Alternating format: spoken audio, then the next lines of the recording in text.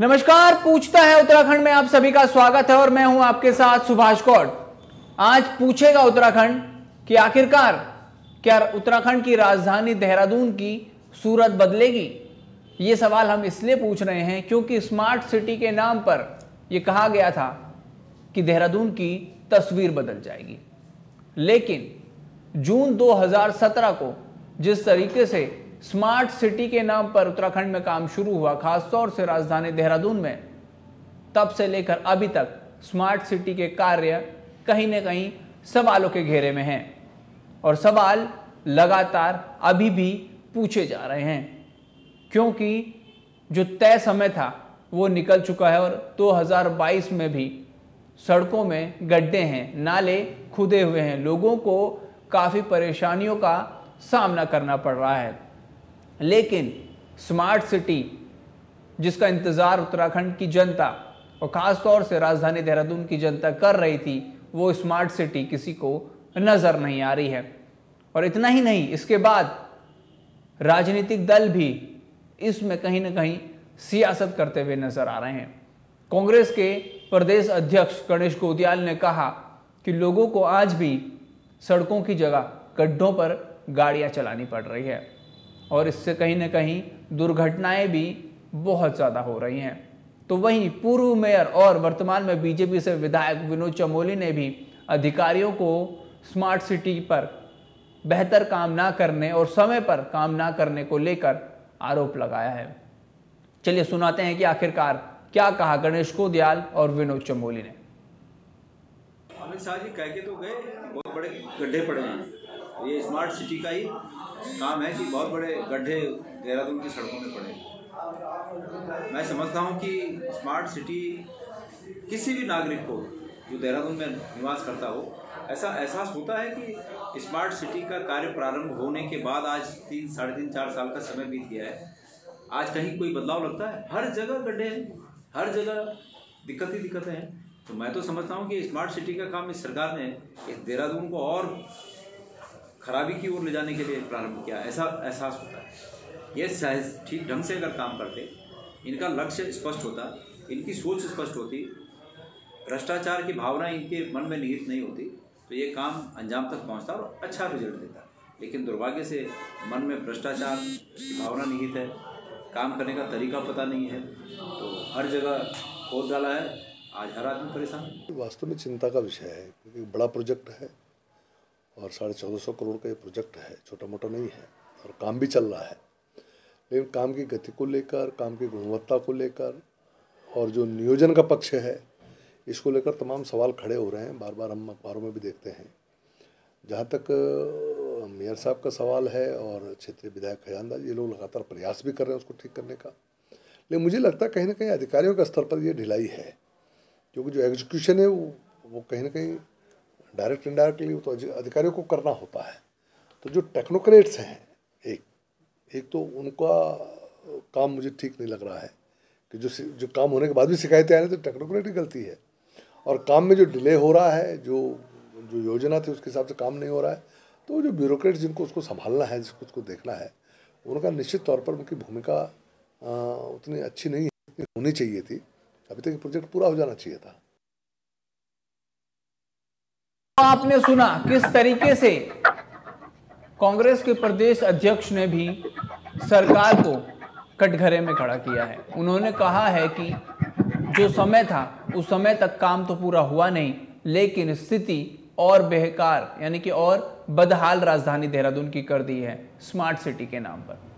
सभी जगह रोडों को खोद दिया गया है, नालों को खोद दिया गया है, और इसके चलते लोगों को सबसे ज़्यादा परेशानी का सामना करना पड़ रहा है। तो वहीं विनोद चमोली, जो कि विधायक हैं बीजेपी से, उन्होंने कहा, इसमें लापरवाही अधिकारियों की है।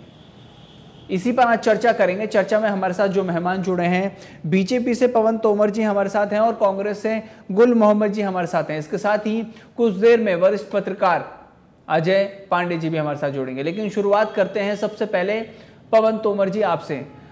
तोमर जी, सबसे महत्वपूर्ण चीज़ ये कि स्मार्ट सिटी वो प्रोजेक्ट जो पीएम नरेंद्र मोदी का ड्रीम प्रोजेक्ट था। लेकिन जून 2017 में इसकी शुरुआत तो हो गई और जो डेडलाइन थी, वो थी अक्टूबर 2021 लेकिन 2022 आ गया, अभी तक जो काम है वो पूरा नहीं हो पाया और लोगों को इसका बड़ा खामियाजा भुगतना पड़ रहा है।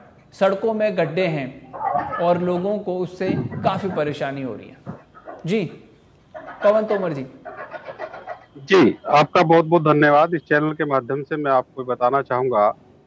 देखिए, कुछ खामियाँ ज़रूर रही हैं। स्मार्ट सिटी को लेकर के जहाँ तक सवाल है, स्मार्ट सिटी अनेक शहरों में, हमने प्रोजेक्ट माननीय प्रधानमंत्री जी के निर्देशानुसार उत्तराखंड में लागू हुआ और उस पर सरकार ने काम शुरू किया। और काम शुरू करने के उपरांत भी कुछ अधिकारियों के माध्यम से थोड़ी बहुत ही कमी रही है। उन अधिकारियों को बीच में एक बार सरकार द्वारा, नोटिस द्वारा माध्यम से पूछा भी गया। और जहाँ तक सवाल है कि कांग्रेस आरोप लगा रही है, कांग्रेस का काम है केवल आरोप लगाना। जब ये लोग थे, तब ये एक इनका छियालीस में आपको याद दिलाना चाहूँगा कि पिछली बार आपने देखा होगा, छियालीस वर्षों से जो इनकी परियोजनाएँ लटकी पड़ी थी, उस पर काम भारतीय जनता पार्टी ने शुरू किया। और आप ये देखिए कि हमने कितना स्मार्ट सिटी के माध्यम से कुछ काम पूरा हुआ, कुछ काम अभी प्रोसेस में है। और अगर घोषणा मान्य प्रधानमंत्री जी ने की है तो उसके अंतर्गत हमने काम भी शुरू किया है, जहाँ कमियाँ रह गई है, उसको दुरुस्त किया जा रहा है। और जहाँ तक अभी गोंदियाल जी बोल रहे थे, मैं इनसे एक सवाल करना चाहूँगा अपने प्रदेश के अध्यक्ष जी से जो कांग्रेस के हैं, कि आपकी 46 वर्षों से परियोजनाएँ खाली पड़ी थी, उन पर काम नहीं हो रहा था, वो लटकी पड़ी थी। अब भारतीय जनता पार्टी जब 2017 में उन पर कार्य शुरू हुआ और लाखों परियोजनाओं पर कार्य शुरू हुआ, इक्यावन पुलों का निर्माण भारतीय जनता पार्टी ने किया। अनेक शहरों में जो है स्वास्थ्य के प्रति जागृत होते हुए उन पर काम शुरू किया।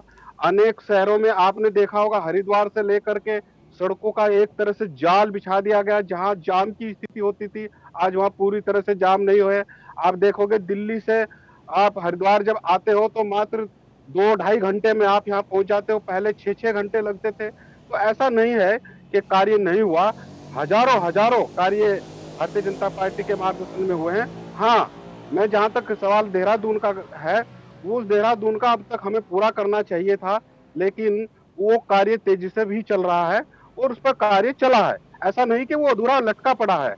और अब आने वाले समय में मैं चाहता हूँ कि जो जनता का स्नेह और प्यार उत्तराखंड में भारतीय जनता पार्टी को मिला अब आने वाले समय में और कार्य प्रगति पर होगा और जो अधिकारी की लेकिन ढीला जी आपने जैसे बताया कि अधिकारियों की कमी रही लेकिन आप तो ज़ीरो टॉलरेंस की सरकार थे।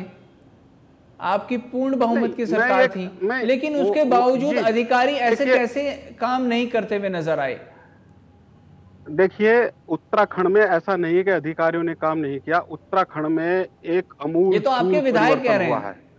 और और नहीं नहीं विधायक क्या कह रहे हैं वो उनकी अपना एक सोच हो सकती है। मैं तो एक पार्टी का प्रवक्ता होने के नाते बोल रहा हूँ कि ऐसा नहीं है कि उत्तराखंड में एक अमूल चूल परिवर्तन हुआ अमूल चूल विकास कार्य हुए और वो अधिकारियों के माध्यम से हुए। हाँ कहीं अधिकारियों की जो ढील ढलाइया रही हैं, उन पर उनसे जवाब तलब भी किया जाएगा और किया भी गया है।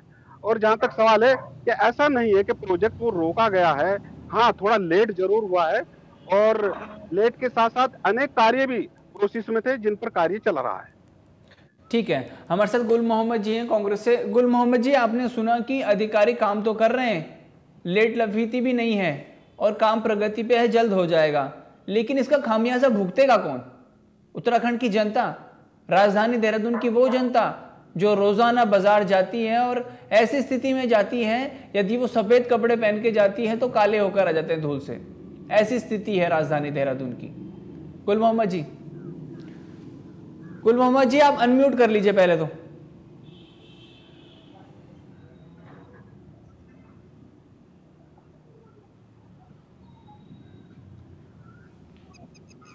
आप सुन पा रहे हो? जी जी बोलिए बोलिए। पवार तोमर जी ने दो बात कही बहुत अच्छा लगा। इन्होंने मैं बताना चाहूँगा आपके चैनल के माध्यम से जनता को। इन्होंने कहा कि अधिकारियों ने काम नहीं किया।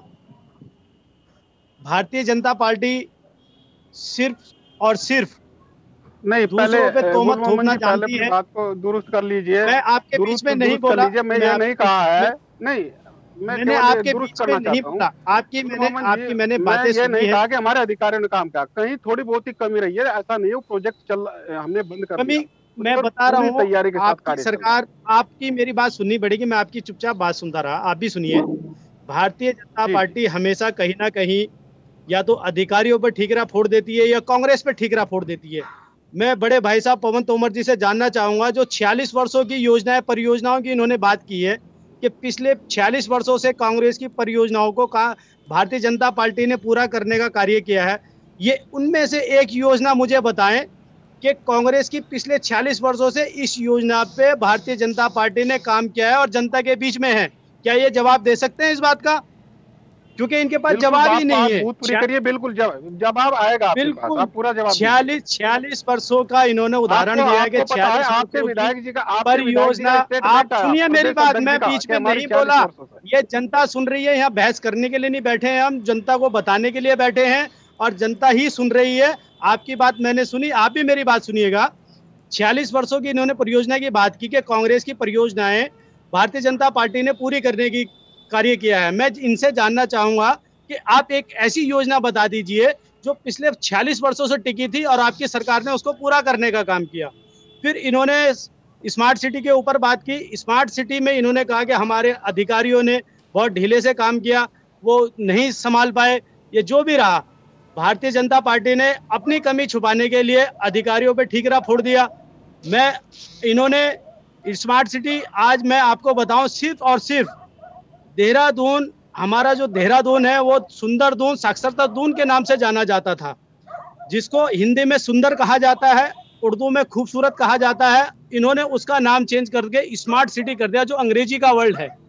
वरना, और आज उस स्मार्ट सिटी के नाम पर लोग सड़कों पे, टूटी सड़कों पे चल रहे हैं एक्सीडेंट हो रहे हैं, जनता बेहाल है, पिछले पाँच सालों से बुरा हाल है सड़कों का तो सुंदर दून को स्मार्ट सिटी का नाम देके, अंग्रेज़ी वर्ड देके आज जनता को ऐसे बरगला दिया भारतीय जनता पार्टी ने ऐसे मोड़ पे लाके खड़ा कर दिया कि पूरी सड़कें इस समय टूटी हुई हैं पूरी सड़कों पे जाम है खड पैदल चलना मुश्किल है धूल मट्टी से लोग परेशान है कीचड़ों से परेशान है जरा सी बारिश आ जाती है तो कहीं कहीं ये टुक, वो टुकड़े लगा देते हैं टाइलें बिछा देते हैं वो भी उखड़ जाती है।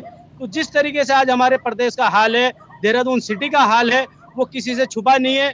जनता रोज उस पर चल रही है जनता रोज उस पर जा रही है जनता रोज इन चीज़ों से गुजर रही है तो जनता सब जानती है। जनता को सब पता है पर सिर्फ़ और सिर्फ़ इन्होंने नाम बदलने का काम किया जो देहरादून सुंदर दून के नाम से जाना जाता था आज उसको स्मार्ट सिटी का नाम देकर जनता को बरगलाने का काम किया भारतीय जनता पार्टी ने और भारतीय जनता पार्टी ने अधिकारियों के ऊपर ठीकरा फोड़ने का काम किया। ठीक है। अधिकारियों के ऊपर ठीकरे फोड़ने का काम किया। अजय पांडे जी भी हमारे साथ जुड़ गए हैं वरिष्ठ पत्रकार हैं। अजय पांडे जी आप राजधानी देहरादून की सड़कों से आप भी गुजरते होंगे सभी नेता गुजरते हैं। लेकिन लगता है कि जो स्मार्ट सिटी की बात कही जा रही थी, कि स्मार्ट सड़कें हो जाएँगी स्मार्ट स्मार्ट शहर हो जाएगा, सभी चीज़ें स्मार्ट हो जाएँगी। नज़र आई क्योंकि स्मार्ट सिटी का जो काम पूरा होना था, वो तो पूरा हो नहीं पाया। ये ज़रूर है कि गड्ढे ज़रूर स्मार्ट हो गए, क्योंकि हर कोने में अब गड्ढे नज़र आ रहे हैं। सबसे बड़ी बात यह है कि जिस स्मार्ट सिटी को लेकर के आज तमाम बातें की जा रही है। उस स्मार्ट सिटी प्रोजेक्ट को लेकर के लोगों में काफ़ी उम्मीदें बनी थी कि देहरादून ऐसा स्मार्ट शहर बनेगा जो अन्य जगहों के लिए, अन्य शहरों के लिए एक मिसाल साबित होगा। लेकिन पिछले पाँच साल के दौरान जिस तरह से कार्य में ढिलवाई की गई, चाहे इसमें अधिकारियों की लापरवाही कहें या फिर जो लोग इसकी मॉनिटरिंग कर रहे हैं, जिसको ये ज़िम्मेदारी दी गई है उनकी लापरवाही कहें, आम जनता को समस्याओं से दो चार होना पड़ रहा है, कई जगह एक्सीडेंट हुए हैं। लोगों के घरों में सीवर का पानी तक आ रहा है। इसके अलावा सबसे बड़ी बात यह है कि जिस स्मार्ट सिटी प्रोजेक्ट को लेकर के जो उम्मीदें थी लोगों के अंदर, वो उम्मीदें एक तरह से, पूरी तरह से धाराशायी हो गई हैं। अब चाहे राजनीतिक दल, चाहे कांग्रेस की बात करें क्योंकि वो विपक्ष में है तो ज़ाहिर है कि वो तमाम सवाल भी उठाएँगे। बीजेपी की ओर से भी जब सवाल उठता है तो ये बड़ा ज़रूर है।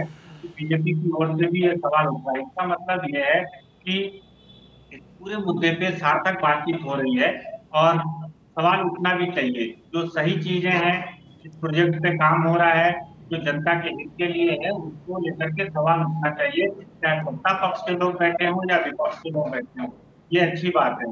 लेकिन काम में लापरवाही क्यों हो रही है? इतना लंबा वक्त लगा जो टारगेट दिया गया था, जो समय दिया गया था समय समय में उस कार्य को पूरा करना था। बहुत से ऐसे कार्य हमने देखे हैं अन्य प्रदेशों में भी हैं और कई विशाल हमारे प्रदेश में भी देखने को मिला है। जो समय सीमा तय की गई थी, उस समय सीमा से काफ़ी पहले उस कार्य को पूरा कर लिया गया अब चूँकि आम जनता से जुड़ा मुद्दा है, आम जनता इससे दो चार हो रही है। गलियों में सड़कें खोद दी गई है, सीवर लाइन बिछाए गए हैं, उनके गड्ढे खुले हुए हैं। उनको समय से भरा नहीं गया है। कई बार एक्सीडेंट हो रहा है। लोग अब अपने गाड़ियाँ लेकर के जा रहे हैं। गाड़ियाँ पंचर हो जा रही हैं। लोगों के हाथ पैर तक टूटे हैं। सीवर का पानी गंदा पानी जो है मतलब कुल मिला के बात यह है कि इसका जवाबदारी किसकी? सरकार की या अधिकारियों की? क्योंकि जो समय सीमा रखी गई थी स्मार्ट सिटी का काम पूरा करने की वो तो चली गई। लेकिन अब उनके पार्टी के विधायक कहते हैं अधिकारियों की गलती है।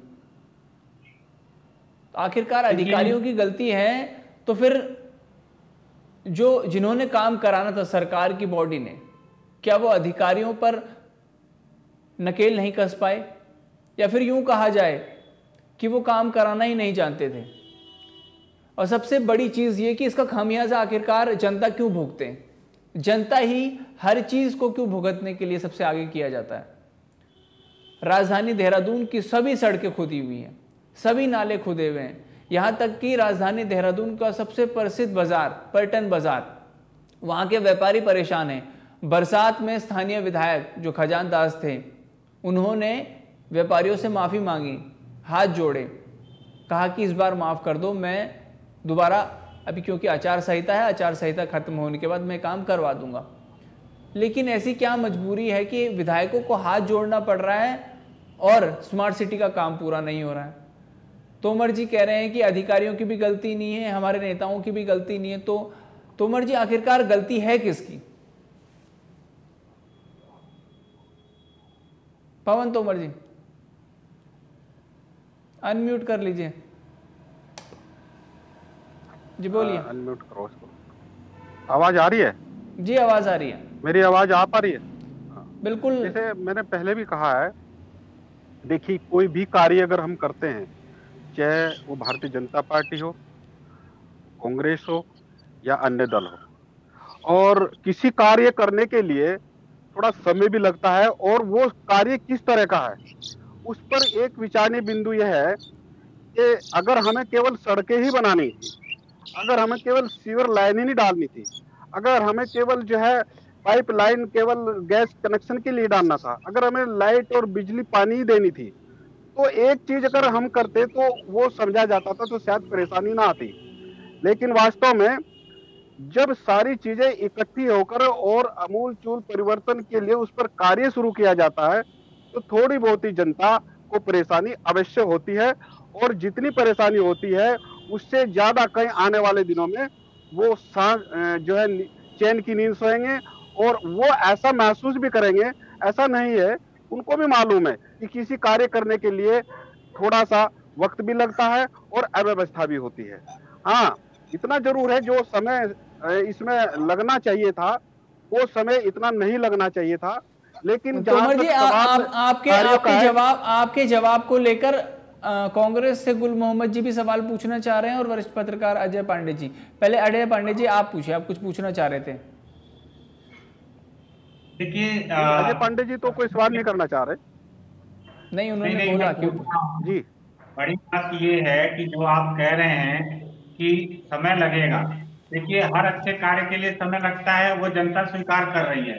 लेकिन जनता को जो समस्याओं से दो चार होना पड़ रहा है जो परेशानियों से जनता जूझ रही है उसको कौन देखेगा ये कौन ज़िम्मेदारी लेगा? लोगों के कई जगह पर हाथ पैर टूट गए लोगों के घरों में फीवर का गंदा पानी अगर आ जा रहा है पलटन बाज़ार की जब अभी ज़िक्र किया उन्होंने तो पलटन बाज़ार की स्थिति है, वहाँ पर देहरादून के हर क्षेत्र के लोग आते हैं। अगर कोई वहाँ गिर जा रहा है, किसी को चोट लग जा रही है, या समस्याएँ बनी हुई हैं तो इसकी जवाबदेही किसकी होगी? ये जवाबदेही सत्ताधारी पार्टी की है। सत्ताधारी पार्टी को एक दूसरे के ऊपर थोपना नहीं है कि उनकी गलती है।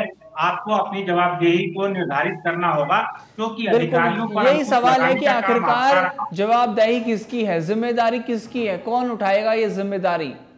क्योंकि आप तो कहते हुए निकल गए कि आपके विधायक कहते हुए निकल गए कि ये अधिकारियों की है। अब आप कह रहे हैं कि अधिकारियों की भी नहीं है हमारी भी नहीं है। तो आखिरकार जवाबदारी किसकी है? क्या जनता की है जो जी- सड़कों पर चल रही है? अजय जी, देखिए, जैसे मैंने पहले भी कहा है, अभी जब चुनाव हुआ था तो चुनाव के समय ही जब एक रुड़की में एक सभा हो रही थी, मैं उस सभा में था और उनके माध्यम से मुझे मालूम हुआ कि कुछ लोग ये भी कहते थे कि भाई, आज अगर हम चलते हैं तो ये सोचकर चलते हैं कि जो समय रुड़की से, हरिद्वार से देहरादून जब हम जाते थे तो उसमें घंटों घंटों जाम में फंसे रहते थे। आज वही लोग हमारी बड़ाई करते हैं, वही सरकार की तारीफ़ करते हैं। हाँ कुछ जगह जैसे देहरादून में है, बहुत अच्छे, एक तरफ़ से जैस ठीक भी हुआ है और ठीक होता, चला भी आ रहा है। कहीं कहीं परेशानी ज़रूर है और वो परेशानी केवल इसलिए है कि जब, देखिए, हम मान लीजिए कोई सड़क बनाएँगे या कोई प्रोजेक्ट लेकर आएँगे तो तोड़फोड़ स्वाभाविक है होगी। और शहर, क्योंकि दून का जो भौगोलिक स्थिति है वो इस तरह की स्थिति है आप तो वहाँ जानते हो पहचानते हो सभी चीज़ों को कि अगर वो एक रास्ता है तो रास्ते पर उसको चलना ही पड़ेगा। हाँ उस रास्ते को हमें जल्दी बनाना चाहिए इसके लिए हमें अगर एक प्रोजेक्ट पे काम करें सैकड़ों प्रोजेक्ट एक साथ में तय करने पड़ रहे हैं और उस प्रोजेक्ट के तहत थोड़ी परेशानी जनता को हो रही है। थोड़ी परेशानी नहीं बहुत ज़्यादा परेशानी जनता को होनी पड़ रही है। और मोहम्मद जी आप कुछ कह रहे थे? देखिए पवन जी ने बहुत अच्छी बात कही, शायद आप लोगों ने उसको नहीं सुना सही से या नोट नहीं किया। पवन जी ने एक बात बहुत अच्छी कही कि अगर सरकार का ध्यान सड़क बनाने पर होता, स्मार्ट सिटी बनाने पर होता, सीवर लाइन पे बनाने पे होता तो शायद ये दिक्कतें जनता को ना आती। पर आगे वो अपनी बात रोक गए, वो मैं पूरी कर देता हूँ। भारतीय जनता पार्टी ने विकास कार्यों पे ध्यान ना देकर सिर्फ़ उत्तराखंड को मुख्यमंत्री बदलने पर ही ध्यान दिया है और वो बहुत अच्छे से भारतीय जनता पार्टी ने उत्तराखंड में करके दिखाया है। त्रिवेंद्र सिंह रावत जी को चार साल में बदल दिया। फिर दूसरे मुख्यमंत्री जी आए, उनको एक दो महीने में ही चेंज कर दिया। तो भारतीय जनता पार्टी का ध्यान हमेशा अपने मुख्यमंत्रियों को चेंज करने पे रहा। विकास की तरफ़ ध्यान नहीं गया और विकास नहीं कर पाए। स्मार्ट सिटी मैंने पहले भी कहा कि स्मार्ट सिटी तो पहले भी हमारा सुंदर दून के नाम से लोग बहुत मशहूर हुआ करता था कि लोग हम कहीं जाते थे, बाहर जाते थे तो लोग कहते सुंदर दून के नाम से आपका दून बहुत खूबसूरत है। तो वही अंग्रेज़ी वर्ड कर दिया स्मार्ट सिटी स्मार्ट सिटी में आज खड्डे हैं, सड़कें हैं तो भारतीय जनता पार्टी का ध्यान कहीं और लगा रहा इन पाँच सालों में, और विकास कार्यों से बहुत छीदा रहा, महँगाई रही, चरम पर महँगाई रही, कोरोना काल पे ध्यान नहीं रहा, ऑक्सीजन नहीं मिला जनता को। कांग्रेस ने पिछली सरकार में पवन जी पवन जी मैं आपको विकास कार्य गिना देता हूँ। पवन जी विकास कार्य गिना देता हूँ आप सुनिए आप सुनिए मेरी हाँ, बात। विकास कार्य आप सुनिए मेरी बात मैं पिछले दे दूँ, 2012 में आपके दो हज़ार आप पवन जी नहीं पवन जी आप गलत कर रहे हैं। आप आप आप आप बोलने का पूरा मौका मिलेगा आप मेरी बात सुनिएगा।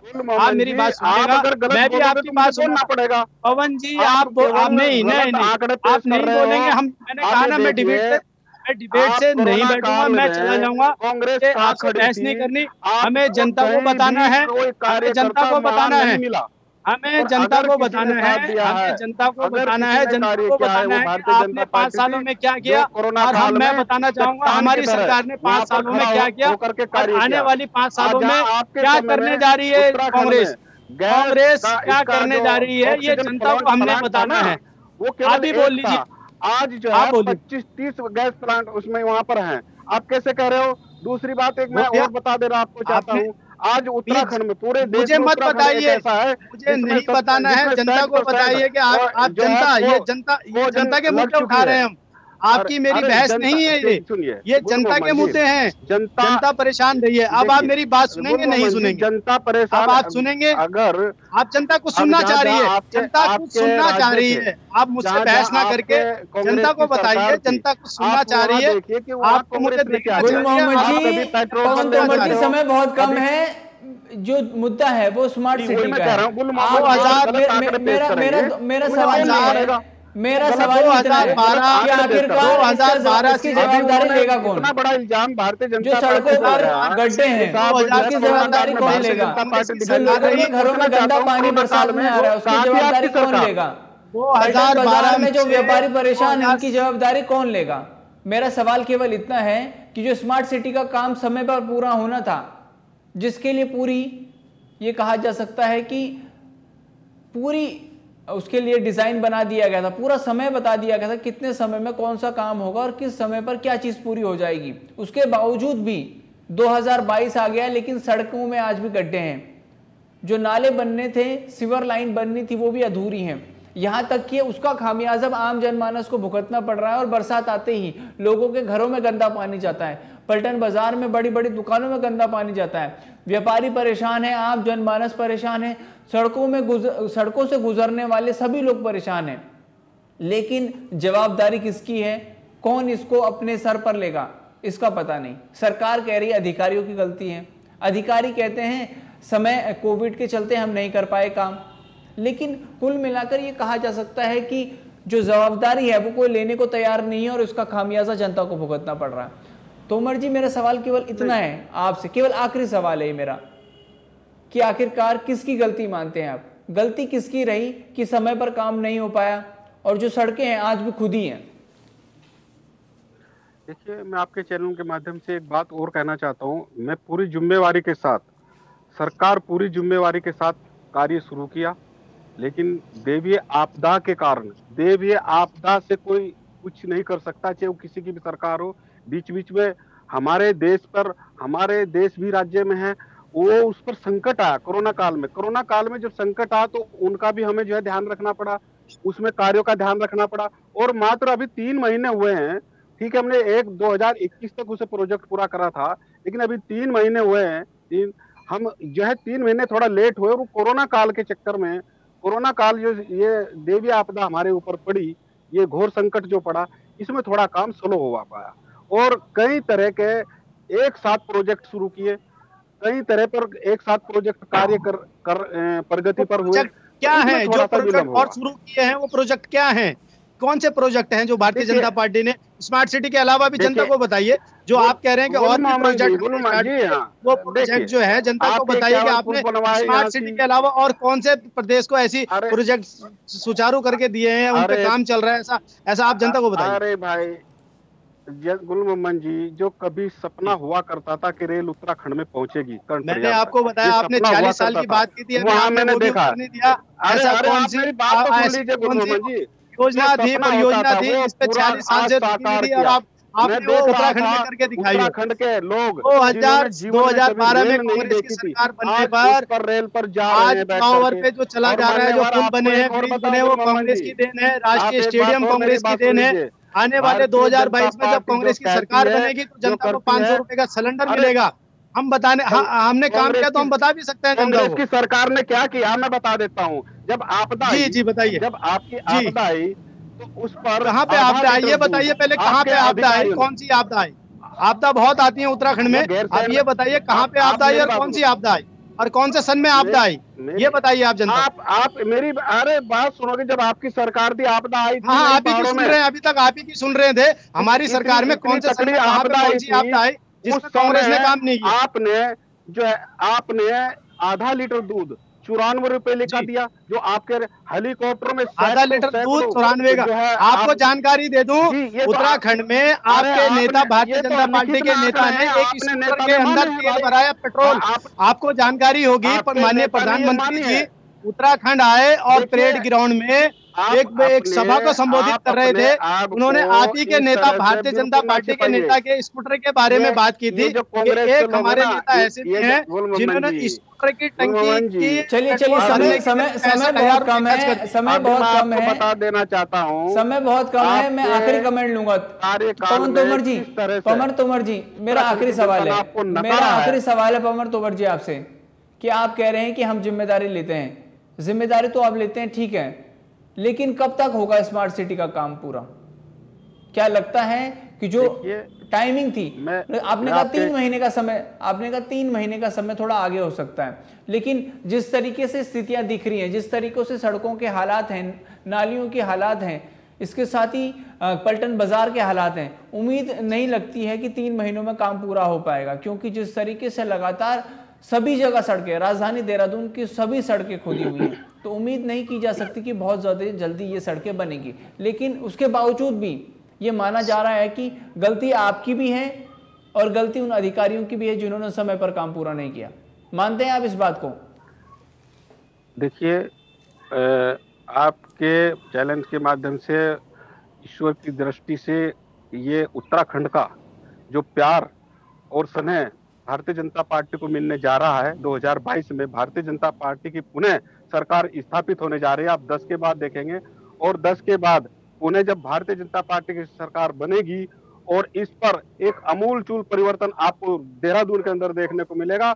और आप देखेंगे कि कुछ ही समय में जहाँ कमियाँ रह गई थी उनको हम पूरा करेंगे और स्मार्ट सिटी स्मार्ट सिटी एक पूरी तरह से जनता उत्तराखंड में तो है आप मेरी बात सुन लीजिए कांग्रेस मेरी बात बनाने जा रही है आप और जनता आप समझ चुकी है जनता हज़ार रुपए का सलन जी समय बहुत कम है। पवन तोमर जी की बात सुन लीजिए उसके बाद आप पे जाऊँगा। जी तोमर जी जी मैं ये कह रहा था कि जो प्यार और स्नेह भारतीय जनता पार्टी को उत्तराखंड की सरकार जो जनता ने दिया उसके माध्यम से जैसी सरकार बनेगी इस पे आप इतनी तेज़ी से हमारे सरकार इस पे काम करेगी क्योंकि हमारी सरकार जो कहती है वो करती है। और सबका साथ सबका विकास और सबका साथ सबको साथ लेकर चलने वाली सरकार है। हम कभी सबको साथ लेकर चलने वाली सरकार है लेकिन जो जनता है कभी आज भी गड्ढों पर चलना पड़ रहा है। ठीक है। हम ये बात नहीं करते आपसे आखिरी सवाल। व्यक्ति विशेष के लिए क्या लगता है कि इसमें गलती सरकार की भी और अधिकारियों की भी है कि जो समय पर काम नहीं हुआ। जी जी इनकी आवाज़ में आपकी बात समझ नहीं सुन नहीं पाया मैं। मैंने कहा लगता है आपको कि सरकार की भी गलती थी और अधिकारियों की भी गलती थी जो समय पर काम नहीं हो पाया स्मार्ट सिटी का।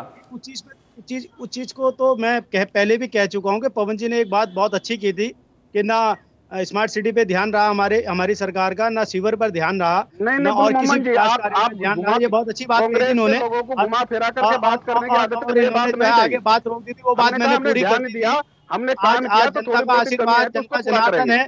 जनता आज कांग्रेस के साथ है और जनता उत्तराखंड में 2022 में सरकार बनाने जा रही है और उत्तराखंडियत के साथ हरीश रावत जी के मिशन के साथ जनता आज प्रदेश की जनता साथ खड़ी है। हरीश रावत जी ने बहुत ऐसे विकास कार्य किए हैं जनता हित में जनहित में काम किए हैं और उत्तराखंड की जनता कांग्रेस को देने जा रही है और आगे कांग्रेस काम करेगी। अपना मुँह फेर लूँगा। आप मैं मैं आपके आप आपने शायद अपने पूर्व मुख्यमंत्री के स्टिंग नहीं देखे। उन्होंने क्या कार्य किए हैं? ये ये ये चीज़ें ठीक नहीं है कहनी ये दुनिया जानती हाँ, समाज ये तो प्रदेश जनता जानती है। ये आपने आपने चलिए ठीक है तोमर जी। मोहम्मद जी समय बहुत कम है आप दोनों का बहुत बहुत स्वागत। आप दोनों की भारतीय जनता पार्टी का काम है। मोहम्मद जी आपका बहुत बहुत स्वागत पवन तोमर जी आपका बहुत बहुत स्वागत इस डिबेट में जुड़ने के लिए। तो ये थे बीजेपी और कांग्रेस के नेता जो डिबेट में ही लड़ते हुए नज़र आए, लेकिन जनता की जो समस्या है, जो लोगों को आज भी गड्ढों पर चलना पड़ रहा है, उस पर कुछ बोलने से कतराते हुए नज़र आते हैं। लेकिन ये ज़रूर है कि 10 मार्च को उनकी सरकार बनेगी, इसी के गुणगान वो गाते हुए नज़र आ रहे लेकिन स्मार्ट सिटी का काम समय पर पूरा ना होने का खामियाजा जनता को ज़रूर भुगतना पड़ रहा है। लेकिन इसको लेकर ना तो बीजेपी ये कहती हुई नज़र आ रही है कि गलती हमारी है और ना ही उत्तराखंड के वो अधिकारी जो स्मार्ट सिटी का काम कर रहे हैं। और कुल मिला के खामियाजा केवल आम जनता को ही भुगतना पड़ रहा है। लेकिन अब इंतज़ार 10 मार्च का भी है कि 10 मार्च को उत्तराखंड में किसकी सरकार बनती है? और सरकार बनने के बाद फिर इंतज़ार होगा कि स्मार्ट सिटी का काम कब तक पूरा होगा। तब तक के लिए हमें दीजिए इजाज़त। नमस्कार, जय हिंद, जय भारत, जय उत्तराखंड।